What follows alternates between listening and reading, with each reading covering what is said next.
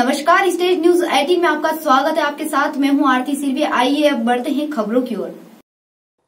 नरसिंहपुर के बरमान चौकी के अंतर्गत मिडली टोरिया में बीती रात साढ़े छह साल की मासूम बच्ची को अज्ञात व्यक्ति घर से रात साढ़े ग्यारह बजे लेकर लगभग सोते हुए अवस्था में ले गया और जब परिजनों ने देखा तो बच्ची घर से गायब थी। तब परिजनों ने आसपास खोजा और न मिलने पर बरमान चौकी में आकर रिपोर्ट दर्ज कराई। पुलिस तत्काल हरकत में आते जाँच और छानबीन चालू कर दी। पूछताछ के बाद चौबीस ग्यारह उन्नीस को दोपहर लगभग दो बजे के करीब मिडली टोरिया के खदान के पास बने गोदाम की झाड़ियों में मासूम बच्ची का संदिग्ध अवस्था में शव मिला। मौके पर पहुँची पुलिस ने अधीक्षक doctor Gurukaran Singh, additional SP Rajesh Tiwari और एफएसएल टीम मौजूद।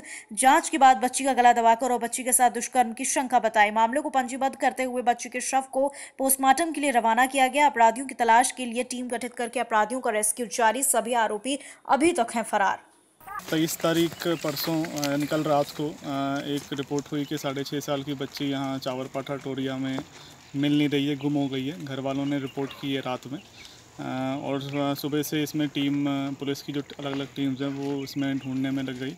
और आज दोपहर को करीब दो बजे जो है बच्ची की जो लाश है वो मिली है यहीं तोड़िया में। सर क्या संदेह जा रहा है उसमें? संदेह प्रथम दृष्टिया ये जा रहा है कि उसका गला घोट के मृत्यु उसकी हुई है हत्या की गई है।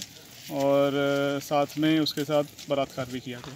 अभी ये प्रथम दृष्टिया संदेह में आ रहा है पर डिटेल जो है वो पोस्टमार्टम के इस पूरे मामले पे ज़िले में काफ़ी आक्रोश है। अभी तक जो है अपराधी फरार है। आइए हम जानते हैं नारायण महुआ जो हमारे साथ हैं इनसे हम पूछते हैं क्या है मामला?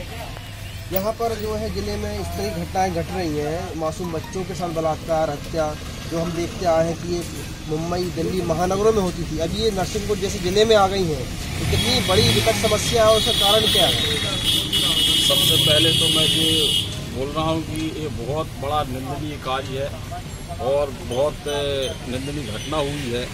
और इसका मुख्य कारण सिर्फ़ हमको लग रहा है कि नशा, शराब, पाउडर, गांजा, आज का जो युवा है, बच्चे हैं, सब पूरे इसकी चपेट में आते जा रहे हैं।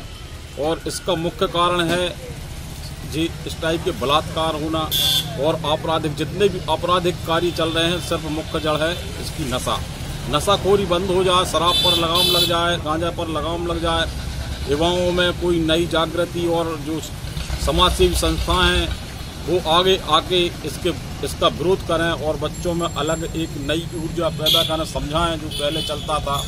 बुज़ुर्गों का सम्मान, मान सम्मान लोग भूलते जा रहे हैं और इस वजह से ये घटनाएँ हो रही हैं। यहाँ पर जो है नारायण महोवे जी ने बताया कि इसकी मुख्य वजह जो है नशा है शराबखोरी है, गांजा है, इसमें है जो कि नरसिंहपुर ज़िले में चरम पे है। और इसी वजह से, इसी वजह से जो है बलात्कार जैसी घटनाएँ मौसम बच्चों सब हो रही हैं। अब है हिंदुस्तानी नरसिंहपुर से धन्यवाद।